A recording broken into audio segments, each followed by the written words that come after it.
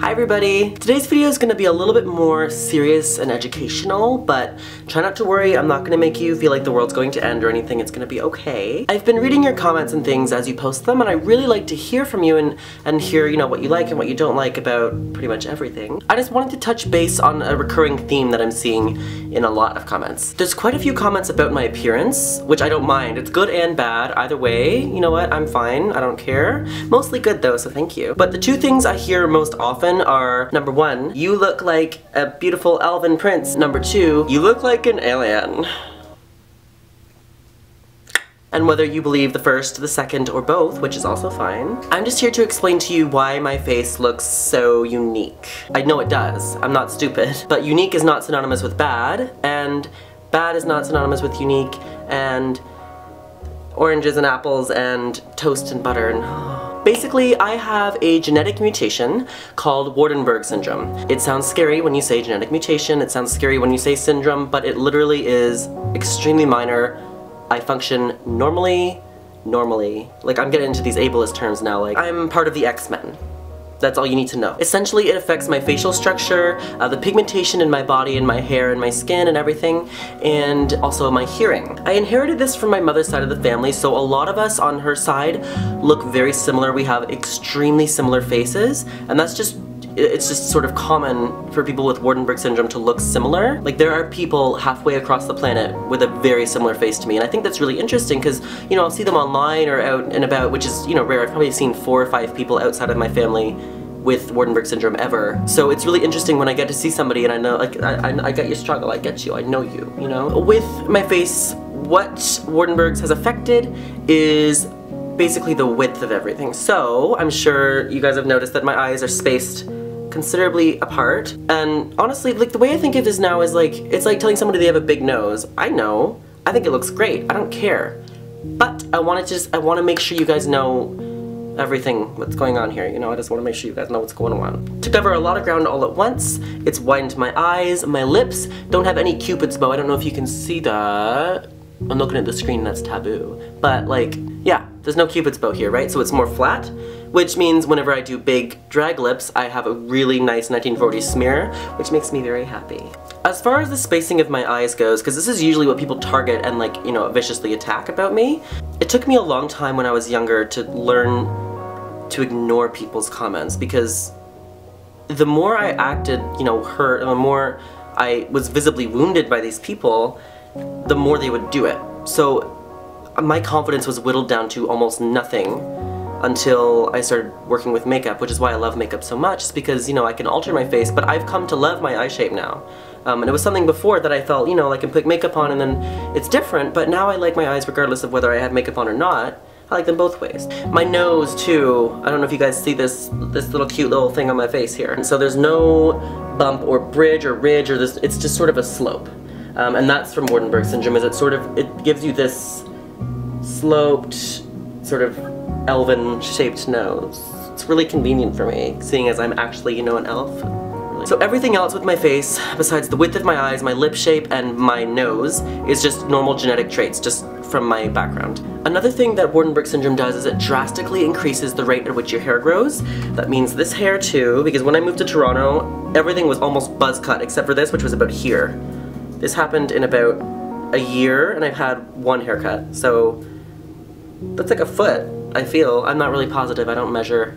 Numbers are not my talent, okay? But I know my hair grows very fast. I have to pluck my eyebrows every day. I have to shave every day. That's why in some videos I look like Thor, and then the next video I look like, like a fairy elf princess. Like, so moving on to the pigmentation in my body, um, the number one thing a lot of people will notice immediately is the eye, the eye color. That is my natural eye color. Um, it's been that since I was born. It's just basically it's like the absence of color in my eyes. That's why it's, it's, blue, but it's very translucent.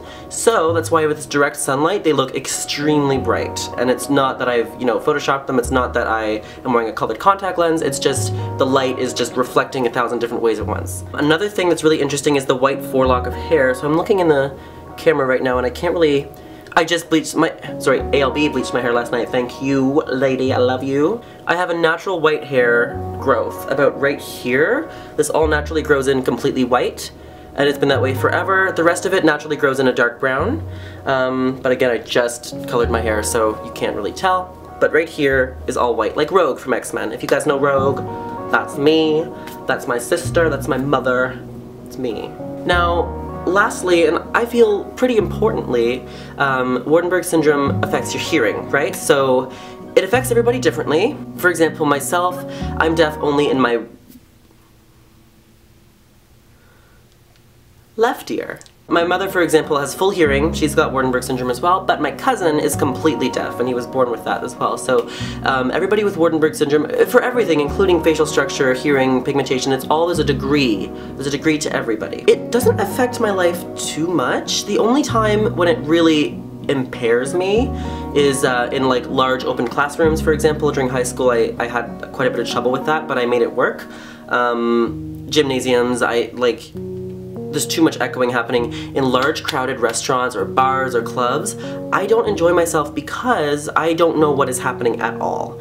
Um, there's so much background noise and it's like imagine if every sound you ever hear is coming at you right here and it's all right here, that's, that's every day. So if I'm in a large, crowded bar, I don't know who's saying what, where it's coming from, I have no idea what's happening. So those situations make me really anxious and panicky because I have, I feel like I have no control over what's happening because I, I don't know what is happening. So that's why I tend to prefer quieter, smaller activities because I can understand what's going on. Um, similarly, if you're walking with me, for example, and you're on my left side, I will run into you many times yeah, it's just, it's almost like I can see you, I know you're there, but my body isn't getting the right cues, it's not understanding that you are, your footsteps are in a certain spot. So I kind of walk, I swerve this way constantly. It's really inconvenient, but it doesn't really, like I've got it under control. It's just if you're walking right next to me, I'm gonna hit you.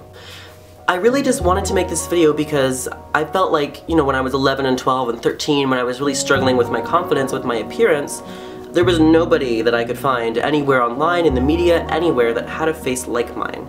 So I just want you to know that we exist, we're out there, we have beautiful faces, you have a beautiful face, I want you to know that you have a beautiful face, and if you don't think you do, you will one day, and I can't wait for that moment to happen for you, because it can be very hard to get there. But it's... there's no feeling like it, really. I mean, I'm sure there is, but it's just, I feel achieved. There's something really empowering about looking very different from everybody around you.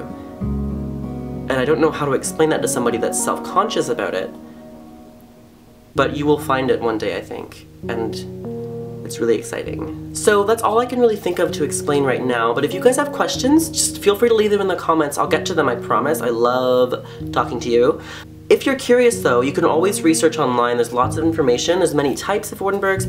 I went over a very basic kind of broad spectrum kind of thing. So definitely if you have questions or, or you're curious, there's so much information out there. I'm gonna put some links in the info box below that you can check out if you really are interested.